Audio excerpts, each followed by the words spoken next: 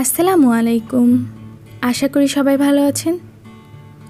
আজকে আপনাদের সামনে অন্যরকম একটা ভিডিও নিয়ে চলে আসলাম। আর আজকের ভিডিওটা দেখতে পাচ্ছেন, আমি গ্রামের মেঠো পথ ধরে হেঁটে যাচ্ছি। আর চারিদিকে জমি আর অজস্র গাছপালা। তো এই রাস্তা দিয়ে হাঁটতে খুব ভালোই লাগছে। আর আমরা হেঁটে হেঁটে যাচ্ছি। আমার শ্বশুরের নিজ উদ্যোগে করা তার নিজস্ব শান্তির স্থান, তার স্কুল, তার প্রতিবন্ধী স্কুল, যেটা তিনি নিজের উদ্যোগে করেছেন। আব্বু আসলে চাকরি করতেন এগ্রিকালচার ডিপার্টমেন্টে তো উনি রিটায়ার্ড করেছেন। এখন উনি ওনার বেশিরভাগ সময়টাই এই স্কুলে ব্যয় করেন।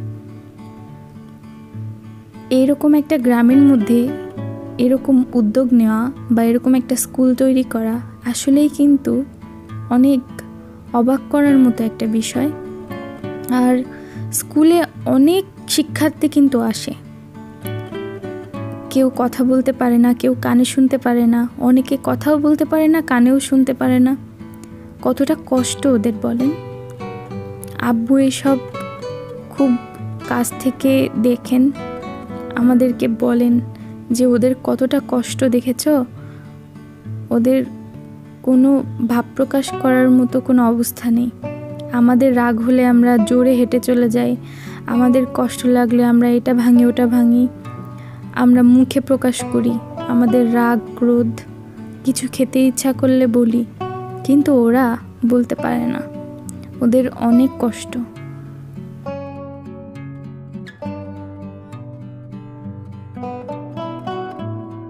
আব্বু আসলে অন্যরকম একটা মানুষ।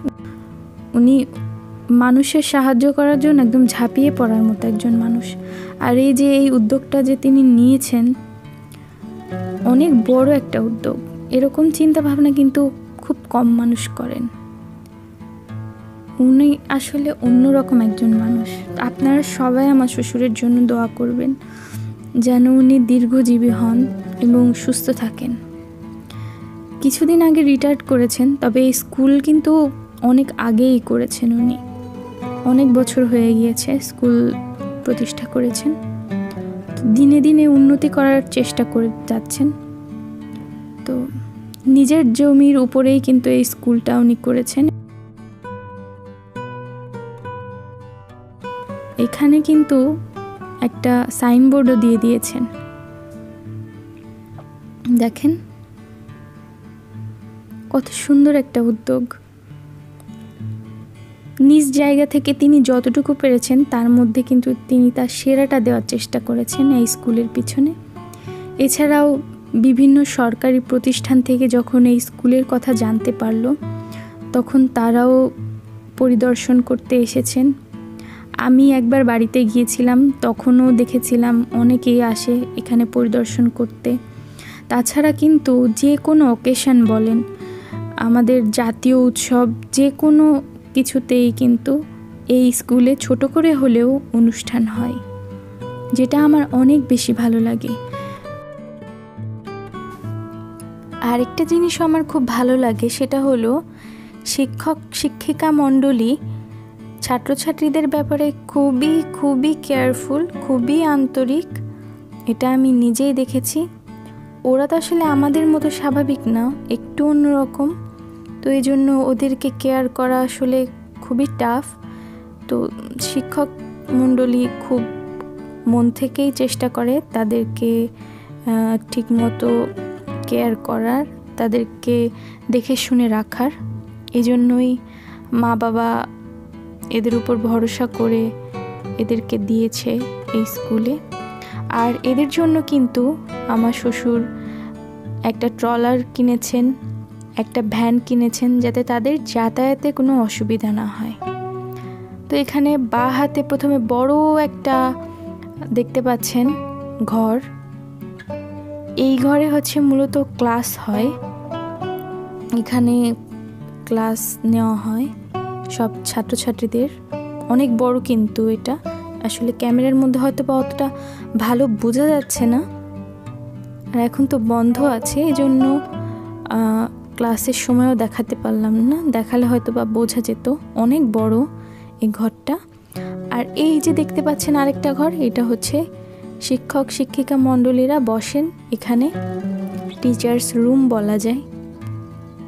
তো আব্বু আব্বুর স্বার্থ অনুযায়ী যতটুকু পারেন তার মধ্যে চেষ্টা করেছেন করার। এছাড়া তার স্কুলে বিভিন্ন রকম ফান্ড আছে। যেই ফান্ডের টাকাগুলো এই প্রতিবন্ধী শিক্ষার্থীদের জন্য ব্যয় করা হয়। তাদের পেছনে কম্বল বিতরণ করা হয়। তারপরে বিভিন্ন ধরনের খাবার বিতরণ করা হয়।